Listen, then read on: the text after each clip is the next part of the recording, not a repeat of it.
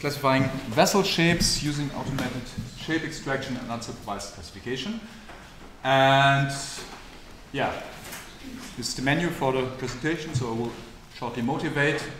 Uh, very shortly mention previous approaches, talk about, about shape extraction, then presenting two approaches uh, that we used and two case studies in which we used them, then try and resume Motivation. And I don't think it's necessary in this room to motivate why we should do numerical classification in archaeology, but it's probably relevant to motivate why we are using vessel shapes and not, for example, decorations in our analysis. And the reason is because we are thinking that uh, the vessel shapes identify underlying large-scale communities of practice in production and consumption. So um, vessel shapes as such are more related to, uh, to uh, communication structures, to covered communication structures, habitus in similar economic practices. And that's probably the most important thing here. We get a much wider area of um, the living world of the people if we uh, concentrate to something that is attached to functional uh, necessities. And also from a practical perspective, um, the vessel shapes are better measurable because we have a metric uh, measurement for these shapes than, for example, nominal characteristics like uh, decorations or rim types also would represent. To be a bit more specific, um, I listed here some, some general tendencies in which both uh, yeah, features of vessels differ and uh, don't take them too literally, but I think the functional dependency of the vessel shape is much stronger, for example, than that of the decoration.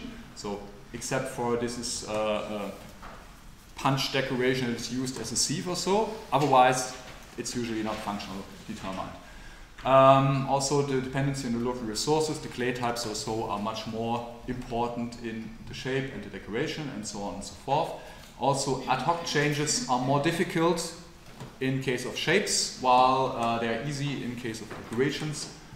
And in the end, in the shapes, you have lesser degrees of freedom. In decoration, you have higher degrees of freedom for your individual production um, resulting in that the unit of analysis in the shapes are more the ideal type that you tr can try to um, get out of the data, while in decoration it's always kind of singularity that is within the data. So that's why we concentrated on the shapes, also because of the characteristics, the specifics of our uh, individual projects, where we also try to um, compare, for example, vessels that uh, are undecorated with vessel traditions that have a strong decorative uh, tradition. So that is the other practical reasons behind that. So in the ceramic production we have several stages. The design um, is emergent or intended um, result of the production uh, construct, uh, the production process based on an ideal type that people have in mind when producing ceramics. And the creativity within this phase is socially bounded, but there is a lot of options for creativity within the social framework of the individual. Then you have the so-called style of action, when learned habi habitual movements, manipulations, and routines come into play when people shape actually the ceramics. And here still uh, there's a lot of um, yeah, habitus in a Bourdieu sense going on there in the production process. And in the end, the material style, that's the result of that, uh, physical traces and effects in the material, and there you could also probably count in the decorations. And but also things that happen in the pottery process. For example, uh, if there's bad clay, something bends in a way you don't like. Um, but all of these are then very individual for the individual object and not so much reflecting probably general communication structures or those kind of units of analyze that we actually want to analyze. Usually pottery is just a mean to analyze something else. Okay, so that's why we analyze vessel shapes and previous approaches, and it's just this one slide, uh, because Vincent will later on give an uh, example of, of his approach. Just want to uh, divide that into, and this list is not uh, complete at all. But there are um, approaches where you take specific locations on the, the uh, vessel, for example, measure them at the rim, rim diameter and uh, belly diameter and so on. Um, but there are also the holistic approaches where you take the whole shape of the vessel and transform that into something that you can then feed into a multivariate analysis, for example. The benefit of this approach is, on the one hand, it's much more information rich because you have the whole vessel shape that is analyzed. On the other hand, you don't have to arbitrarily choose some points of measurements on the vessel. And uh, this can become tricky if you compare, for example, yeah, very different uh, objects that have uh, a biconical, for example, with a conical one, then you have probably not a belly. What should you measure there? What should you put in there? So um, the holistic approaches are much more suited to getting a general idea of the vessel. So what is our approach then? And uh, this is twofold. On the one hand, we developed an approach for the shape extraction of the objects from scanned images. On the other hand, we analyze them later on. The shape extraction itself can be done for our case by hand. This is our workflow that we used. We load the image, we clean it from stuff that's also there and not so interesting. We enhance the contrast, we close the gaps that are from the scans and contrast enhancements. We fill the inside black. We turn the thing real black and white, so removing the grayscale. Then we, we rotate the object that is really upright, crop the image to the vessel itself, split it in half. The idea is that uh, one half of the vessel as a rotation body represents the whole vessel. You can question that partly with handmade ceramics, um, but it makes computation much more easy. And then we scale that down, for example, to 100 pixel resolution. And with that, we have 100 measurement measurements automatically. So that's um, the whole stuff done by hand. It is quite fast to do that if you have someone who is uh, trained with that. That's my uh, stopwatch here. Uh, I can transfer this into that in 1 minute and 20. Maybe uh, student assistants take a bit longer, but it's not, so it doesn't take that long. Thing is, if we have 800 images of vessels, and let's say we have 1 minute 30 for that, it takes 20 hours of working time to uh, do that. And with that, automatic uh, automation makes absolutely sense if you have want to process a big amount of data. Also, uh, so automation is not trivial in this situation. Scanned vessel drawings uh, have problems. You might have holes like here, here, there are some, some gaps here. You might have um, additional components here. And so a simple image segmentation with just using um, the background color or making a flood fill to fill everything else here or inside of that here. There's also this nasty inside stuff here. That's not possible. It must have must be a bit more, uh, yeah, a bit more educated.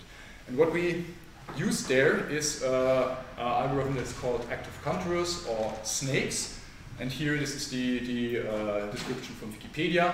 And here is a live example. So you can see that this red line, I hope this is visible, um, starts as a rectangle and then closes towards the map of Europe and extracting the shape of Europe quite well, although the image itself is very bad for that. So you have little contrast here and no really closed lines here. And this method is used in uh, um, medical image uh, segmentation quite often, it seems. So I took this algorithm from a Python script, transferred it a bit, and put it into R and make it available for our purposes. And we have put it into a package that's called shapAAR that shall do in the end not only the image extraction but also the analysis uh, that we are doing later on with that, so the analytical steps. Currently, it's doing only that, but it does it quite well. So we have some, these steps can be automated. Bit of preparation, we have to black and white the image and blur it a bit, that we get wider uh, um, contours. Then we can make the image segmentation. You can probably can't see that here, but uh, everything is cut, um, encircled in, in a red line. Then we select the biggest object, hoping that within the picture, the biggest object actually is the vessel. I mean, it might be a brave assumption, but usually it should work. then we rectify and crop the whole thing and cut it again in half. yeah, this can be automatically uh, done on, over a whole folder of scanned images, and the results currently work out quite well. I would love if you test this method probably, this, this package, and give me some feedback uh, so that we can improve that. Currently we have just worked with our own data, so there's of course a lot of things that can be improved. Really? Joking? Oh my god. Okay, um, speed this up. So we use two analytical methods. The first is using a PCA in the uh, um, hierarchical clustering because all the measurements we have are in Euclidean space, so we can safely use uh, PCA there. The idea is we using the profile distances that we have uh, get and probably some additional nominal variable as input. They have to be rescaled then. Conduct the PCA. Conduct on the result uh, uh, horizontal um, hierarchical clustering using Euclidean and Ward measurements. Uh, we did that with the package FactoMineR from R. That's very helpful because it has an automated uh, um, automation that do both steps at once and give you a, a cut in the cluster tree uh, according to the uh, relative loss of inertia. And for the individual clusters within, so I get out here, for example, three clusters, and for the data for the vessels within these clusters, we repeat the process again as taking this cluster as a whole as an input to get a finer segmentation later on.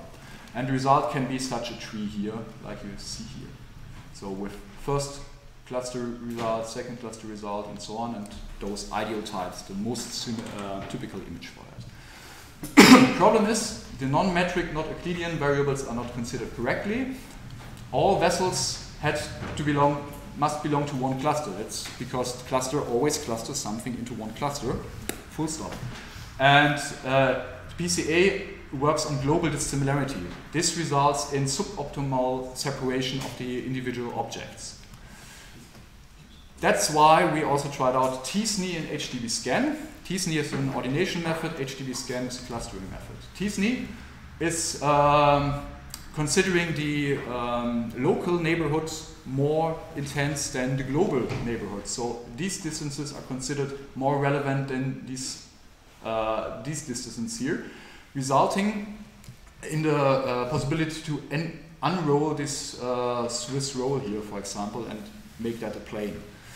Um, HDBSCAN is a hierarchical cluster mechanism where uh, the, it's a density-based cluster mechanism where the density of objects in the uh, data set are considered and the benefit of that is that you can get out also these elongated objects as a cluster. Um, okay, the approach is rather, rather, similar. We conduct, we use the distances, we conduct t-SNE and HDBSCAN uh, using a package Rtsne and uh, dbscan for that. And for the individual clusters, we repeat the process again within the cluster. problems here is t-SNE is a stochastic algorithm, so every uh, ordination might look different. Um, accordingly, also the clustering might differ. To solve that, we do consensus clustering. So we repeat the, the, the, ordination several times, the clustering also, and then come up with a final solution that takes a majority vote for the clustering. Okay, just a short browse. First case study Bell Beakers of the Iberian Peninsula, and we are investigating in that case study originally um, copper age and bronze age ceramics, in this case only Bell Beakers, but the general scope of the project is wider. That's why we had to also uh, concentrate on the shapes. For a test case, I just took 200 uh, specimens from uh, the general um, publications.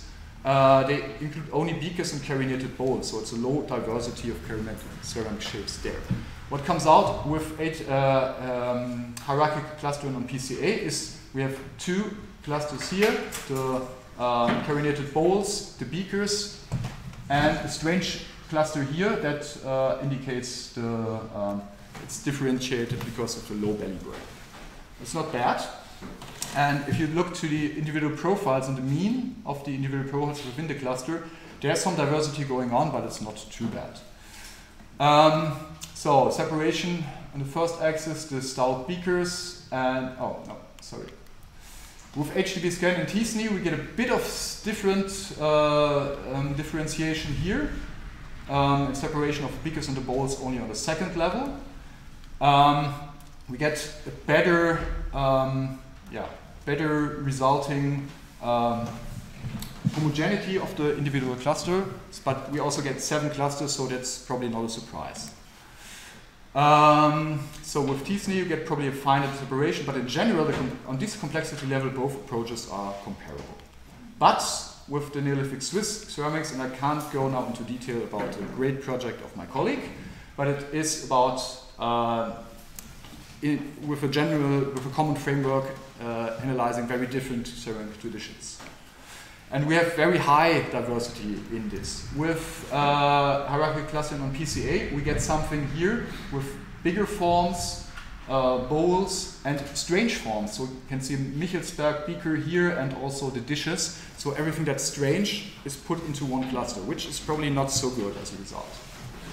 And also the diversity within the cluster um, is, is quite high. While with t-SNE and HDBSCAN on the first level, the dishes are separated, and then on the second level, we get an explosion of different clusters. Uh, 33 clusters, and if we look to them, they are very homogeneous, the, the resulting shapes, so that's quite a nice result.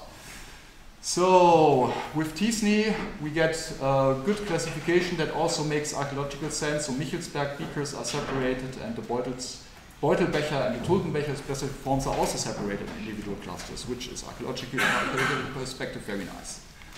To resume, unsupervised classification as also as an explorative tool can open up new perspectives in archaeological interpretation. Automation is, is useful, and in case of high diversity, t-SNE and HDBSCAN results in much better separation of objects. The package is available at CRAN. I already said object separation from scan images is already usable, and we will bring the whole analytical tool chain uh, in there this year. This is Caroline. Those are the places where you can get the presentation and the package. Thank you for your attention.